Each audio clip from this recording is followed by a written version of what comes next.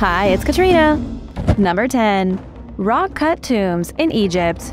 Archaeologists in Egypt accidentally found a series of mysterious rock-cut tombs. They found over 250 ancient tombs cut into the side of a mountain, with many of them dating back 4,200 years. You might be wondering how such a discovery could be made by accident. According to the Egyptian Ministry of Tourism and Antiquities, it all happened during an archaeological survey. It wasn't like a donkey stumbled upon them. It was still archaeologists who made the discovery, but they hadn't been looking for the tombs. They were investigating the Al Hamidiyya necropolis near Sohag when they found hundreds of niches and chambers carved by hand into the side of the mountain. The graves date from between 2200 BC and 30 BC, from ancient Egypt to the death of Cleopatra, Egypt's last pharaoh. Unfortunately, there don't appear to be any mummies. Whoever was buried inside these tombs were taken from their final resting places long ago, probably by grave robbers. Still, some of the tombs are impressive. There are doors inscribed with hieroglyphics, sloping passages leading into deep underground chambers. Historians believe the tombs were allocated for the common people. They were just ordinary graves for ordinary folk, people who couldn't afford things like mummification, or to have their brains pulled out through their noses. Number 9. A hole in the skull. 3,500 years ago in Israel, a pair of brothers came down with a serious illness. These brothers lived in an upper class family, meaning they had access to all the best doctors of the day. To fix their injuries, these brothers had to undergo some serious surgical operations. One of them underwent a radical procedure known as trephination, meaning he had a square hole removed from his skull. Evidence of the brothers was discovered at the remote archaeological site of Megiddo in northern Israel. This is a place in the middle of the desert, not somewhere you'd want to take a leisurely stroll. The bones found at the site now appear to be the oldest evidence of such a surgery being practiced in the area. Older evidence of trephination has been found in France, going back 6,500 years. For some bizarre reason, prehistoric doctors had a fascination with cutting holes in skulls. Rachel Kalisher with Brown University says there have been about a dozen ancient skulls found in the Middle East with trephination holes. The brothers lived between about 1550 and 1450 BC. They were discovered buried underneath the ruins of a house in a wealthy part of the city. One brother had his skull perfectly intact, but died in his early 20s. The second brother lived a little longer, though not because he went through with the procedure. There was no evidence of healing, meaning he likely died after the operation. Considering the doctor would have been using primitive stone or bronze tools, attempting brain surgery was wildly ambitious. And now for number 8. But first, it's shoutout time! I want to say a big thank you to Jessica Kovacs and Patrick Nicias for supporting this channel. Be sure to subscribe if you haven't already for more videos about mysterious discoveries. Number 8. Taos Pueblo Taos Pueblo is an ancient town about a mile from the city of Taos, New Mexico. And even though it's only a mile from a city, it's still essentially in the middle of nowhere. It was definitely in the middle of nowhere 1,000 years ago, when the town was inhabited by the Tewa Native American tribe. To this day, it's one of the oldest continuously inhabited communities in the U.S with its residents still speaking the Taos language of their ancestors. As of 2010, there were roughly 150 permanent residents living inside the historical pueblo. But let's take a deeper look at the history of the place. The Taos indigenous people likely settled here starting around the year 1000, but by the year 1300, drought had moved into the area. Like so many of the other groups living in New Mexico, the citizens of Taos Pueblo packed up and left. Their dwellings were abandoned as they went searching for a stable water supply. However, the exact reason for their departure is still up for debate. There has been evidence of a massive violent struggle that took place here, suggesting it may have been conflict that drove the original inhabitants to leave. When Spanish conquistadors arrived in 1540, the ruins of Taos Pueblo were found, Though to be certain, it's unclear when people had begun to return following their original departure. The Spanish took an interest in the city themselves and moved in. In 1620, Spanish Jesuits constructed a Catholic church. There were some major cultural tensions, though, and in 1660 the natives rioted, killed the priest, and burned down the church. Have you ever been to Taos? Do you recommend it? Let us all know in the comments below. Number 7. Lasseter's Reef In 1929, Harold Bell Lassiter made a bold claim. He said that he discovered a rich gold deposit in a remote and desolate part of Central Australia. In October of that same year, he wrote a letter to Australian authorities claiming he found a vast gold reef near the edge of the Macdonnell Ranges and needed help finding it. Despite his claim, the government ignored him. Nobody made any effort to go out into the inhospitable wasteland and search for the gold deposit Harold had supposedly found. In March of 1930, Harold reached out to the Australian Workers' Union. Yet again, he was painfully ignored. He didn't have enough money, but desperately wanted to secure the gold he believed was out there waiting for him. Luckily for Harold, the 1930s brought the Great Depression there was a much greater interest in Australian gold mining. He managed to secure a massive amount of money from a private donor for an expedition to relocate the gold reef. The group left from Alice Springs with motorized vehicles in March of 1930, but things started to go wrong right away. Harold proved to be a miserable guide. He took them on a wild goose chase, and the leader of the expedition grew tired of it. He called Harold a nut job and ended the mission.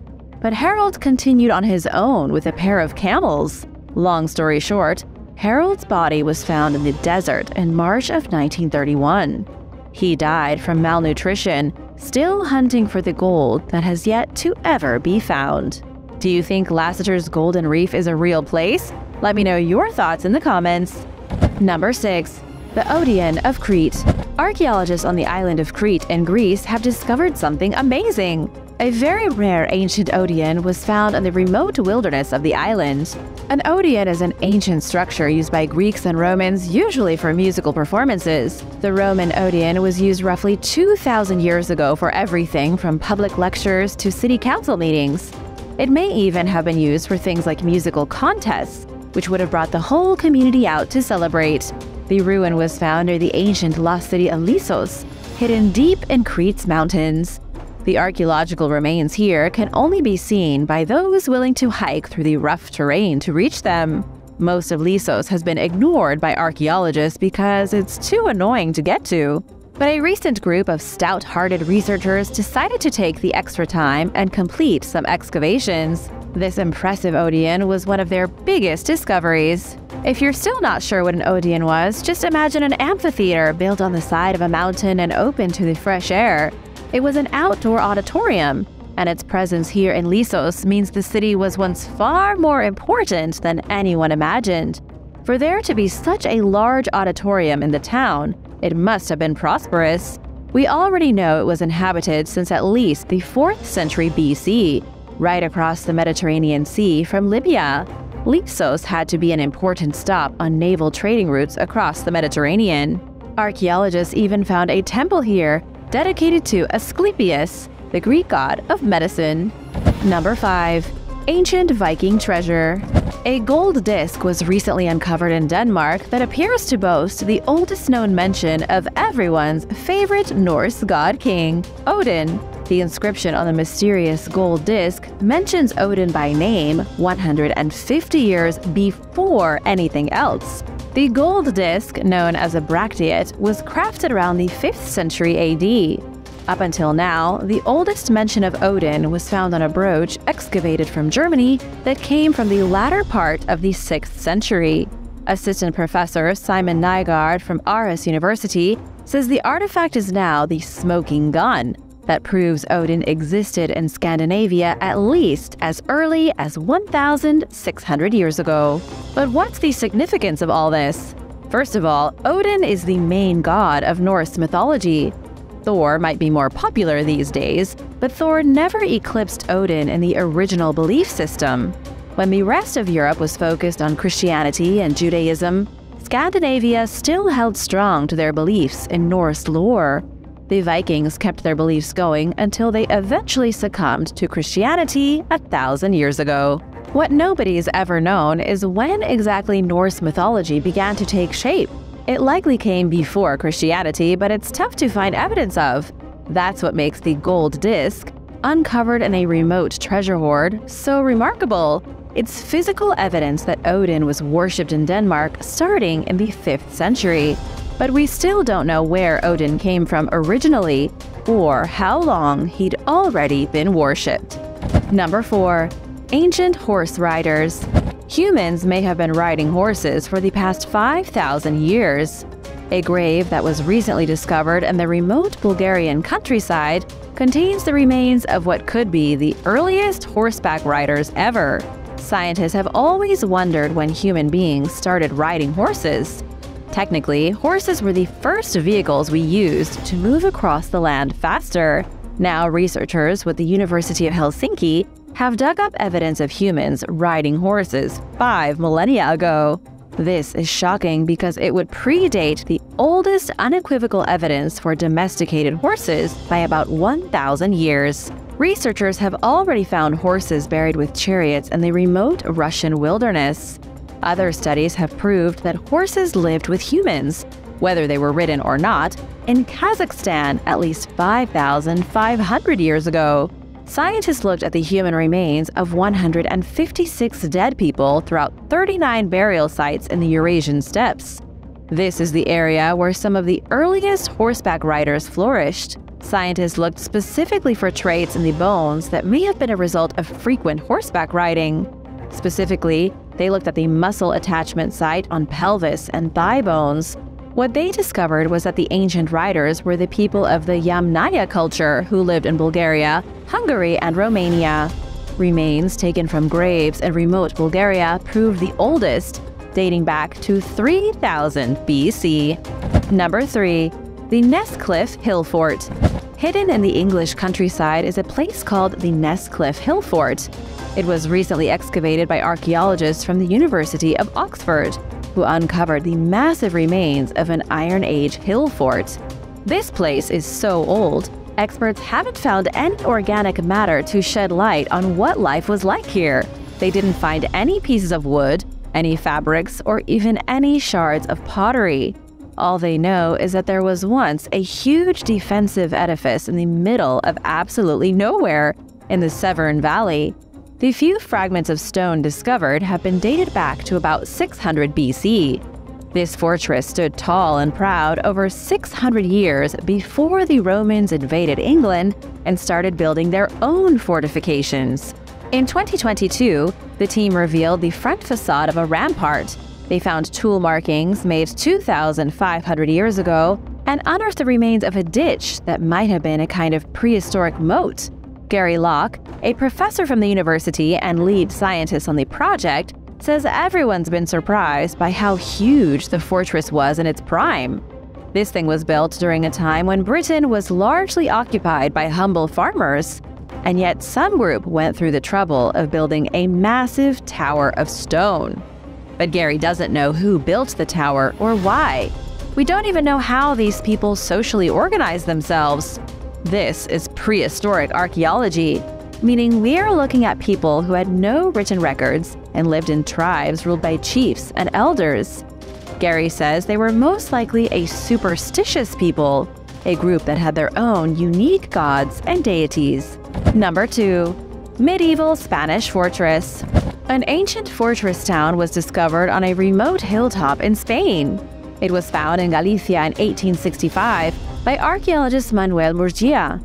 He believed the fortress town was built during the Iron Age, making it at least 3,500 years old. The settlement at the top of the hill in the middle of nowhere maintained its reputation as an Iron Age site up until recently, when researchers took a new look at it. Scientists from the University of Santiago de Compostela found evidence that the settlement, named Castro Valente, is in fact from the medieval period, it was most likely built only about 1400 years ago in the 7th century AD. It's about 2,000 years younger than previously believed. It's pretty rare for archaeologists to make such a gruesome mistake when dating an ancient place. This was a particularly egregious mistake because it took over a century to fix. Archaeologists only corrected the historical record by accident when they employed new LIDAR technology. The researchers used a system of laser beams attached to an aerial platform to create a three dimensional image of the site. They were able to map the entire area using this new technology, getting an unprecedented look at the remains of the fortress town. They identified over 30 stone towers that once protected a massive settlement. There were heavy walls and reinforced protective barriers. What really shocked experts was that the 3D image of the fortified town looked suspiciously like a medieval fortress. That was when they realized the site is significantly younger than previously believed. They are quite literally rewriting history here and now have a massive mystery to solve. Archaeologists want to understand who built the fortress, who lived in it, and where they went. Number 1. The Wheel In the remote British countryside, a wheel was discovered. Not just any ordinary wheel, one from the Bronze Age. It could be the biggest and earliest wooden wheel ever found in Britain. It was discovered buried under the soil at an ancient place dubbed Britain's Pompeii. Archaeologists are calling the 3,000 year old artifact unprecedented. The wheel is about 3 feet in diameter and still attached to its hub. It appears to have been burned, but not much more is known yet. It was discovered at an ancient farming site a place that was occupied at the end of the Bronze Age from 1100 to 800 BC. There was likely a small group of families living here, with maybe four or five large roundhouses built on stilts above the shallow water. The wheel was found near the remains of the biggest house, so it's believed it belonged to the most important family. It's not clear what the wooden wheel was used for. It could have been part of a horse drawn cart, but there is no way of saying for sure. Archaeologists think the wheel suffered burn damage when the whole settlement was eradicated in a fire. Thanks for watching! Which discovery did you like the most? Let me know in the comments below. Be sure to subscribe if you haven't already, and I'll see you next time. Bye!